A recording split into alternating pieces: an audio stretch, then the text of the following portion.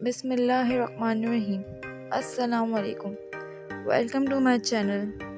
Viewers अगर आपको मेरी वीडियोस पसंद आती हैं तो नीचे दिए गए सब्सक्राइबर बटन पर क्लिक कीजिए और साथ ही बेल आइकन पर प्रेस कीजिए, ताकि फ्यूचर में आने वाली मेरी वीडियोस से आप अपडेट रह सकें।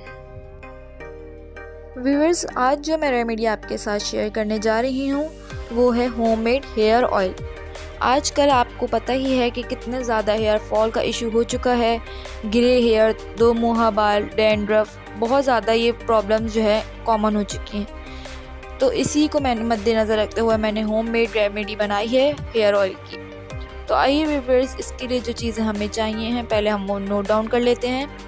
मैंने एक अदद प्याज ली है मीडियम साइज़ और एक छोटा सा टुकड़ा अदरक का लेकर इसको ब्लेंड कर लिया है।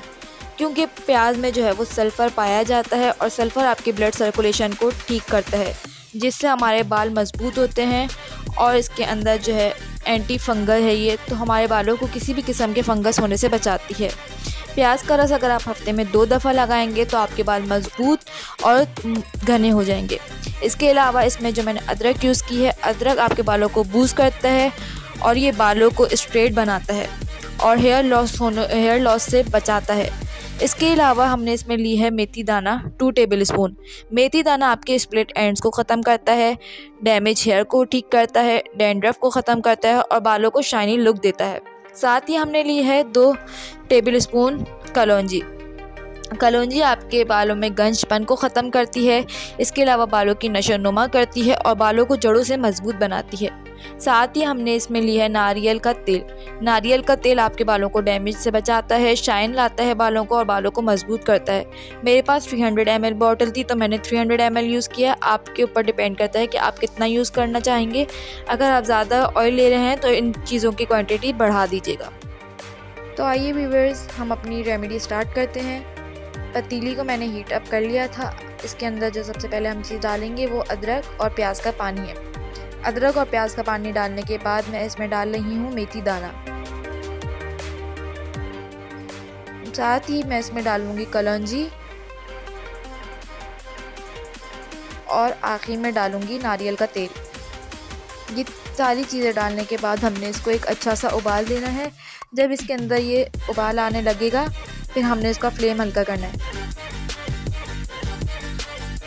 तो वीवर्स ये देखिए, इसमें उबाल आना शुरू हो गया है। अब हमने इसको फ्लेम बंद कर देना है और इसको एक रात के लिए छोड़ देना है। जब हम इसको नेक्स्ट मॉर्निंग देखेंगे तो आप इसके अंदर देखोगे कि मेथी दाने जो हैं, वो फूल चुके होंगे और सारा जो ऑयल है, उसके अंदर जज्ब हुआ हुआ होगा।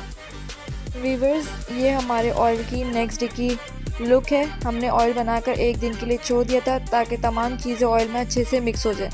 तो आइए, अब हम इसको छानते हैं और छानना हमने इस तरह से है कि इसको हम साथ साथ जो है वो प्रेस करते रहेंगे ताकि जो ऑयल मेथी दाना में ऑब्ज़र्व हुआ है, वो ऑयल इसमें मिक्स हो जाए।